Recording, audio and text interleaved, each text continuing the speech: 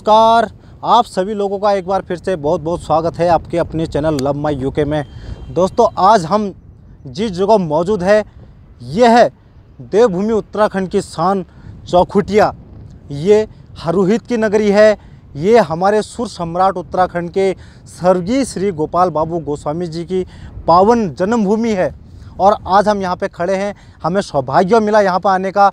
और अभी हम हैं माँ अग्नेश्वरी माँ के दरबार में खड़े हैं हम और यहाँ की बहुत सारी ऐसी कथाएँ हैं चौखुटिया की पावन भूमि के बारे में, जिन्हें शायद लोग कल्पना भी नहीं कर सकते इस चीज़ की जानकारी के लिए। लेकिन हमसे जितनी भी जानकारी छोटी मोटी समेटी जा सके, हमारा प्रयास है कि हम आप सबके सामने ला सकें। और आज हमारे सामने एक खास मेहमान है हमारे आज, वो हैं उत्तराखंड के उभरते हुए नए कलाकार, गायक, सुर सम्राट श्री रमेश बाबू गोस्वामी यानी आर बी जी जिन्हें आजकल शॉर्ट नाम से जाना जा रहा है तो हम स्वागत करते हैं आर बी जी का। आर बी जी हम सबसे पहले तो आपका स्वागत करते हैं अपने चैनल में। और जिस तरह से हम यहाँ पर देख रहे हैं माँ का मंदिर है और भी आपके चौखुटिया में काफ़ी अच्छी अच्छी चीज़ें हमको यहाँ पर देखने को मिली।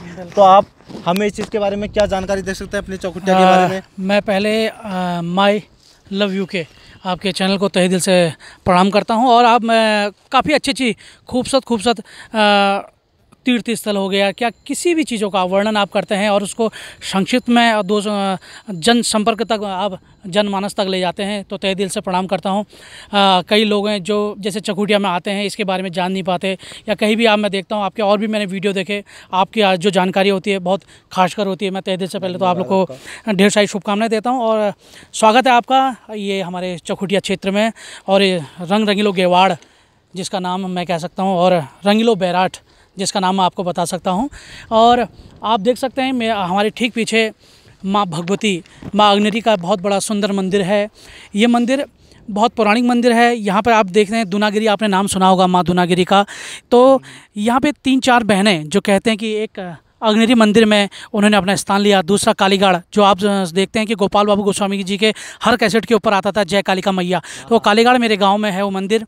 और दुनागिरी माँ, आप देखते हैं कि दुनागिरी में तो तीन चार ये बहनें एक देघाट में तो इन बहनों ने जब यहाँ पे स्थान लिया तो ये पौराणिक मंदिर हैं, यहाँ पर अठवाड़, अब ये कुछ अगले महीने यहाँ पे बहुत बड़ा मेला होता है सात दिन का तो जिसमें पहले क्या होता था, पहले बलि बलि प्रथा होती थी यहाँ पर वो बलि प्रथा रोक दी गई है, बहुत अच्छा काम किया है, उसके बाद जो अब ये लोगों के यहाँ पे सांस्कृतिक प्रोग्राम होते हैं, और बहुत रंग बिरंगे यहाँ बच्चे आते हैं, झूले, ये वो सब कुछ लगने आते हैं।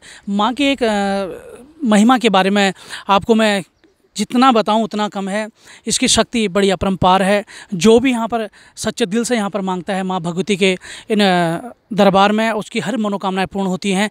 ये आप ये कोई मिथ्या नहीं हकीकत बात है। आप माँ के तस्वीर को देखोगे, ऐसा लगेगा कि माँ आपसे कुछ बोलना चाहती है। ऐसा यहाँ पर अग्नेरी मंदिर है। आप कालीगाड़ एक वनों से चारों ओर घिरा हुए बांच और बुरांस के पेड़ों में घिरा हुआ ये मंदिर कालीगाड़, जो आप देख सकते हैं ऊपर तो वहाँ मंदिर में हम आपको उसका दर्शन भी ज़रूर कराएँगे।